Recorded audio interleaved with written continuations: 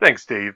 Sometimes you want to share something funny on social media, but don't want it clogging up your profile forever.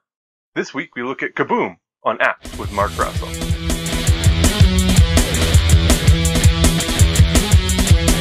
It's pretty widely understood that if you want something to stay private, keep it off the internet. Enter an app called Kaboom, a hosted message service with baked-in privacy.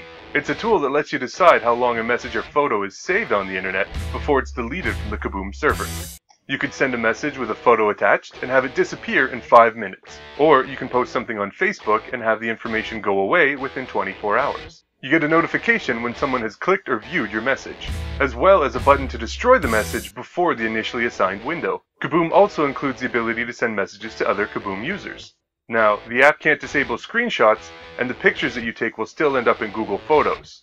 So it's not the final answer for privacy, but it's a good step. Kaboom is a great tool for streamlining the kill process for messages and photos you don't want to stay around forever. And as long as you use it in precisely that way, and try not to rely on it for actual privacy, it's a great tool to have. Kaboom is available for free on Android and iOS. This has been Apps with Mark Russell.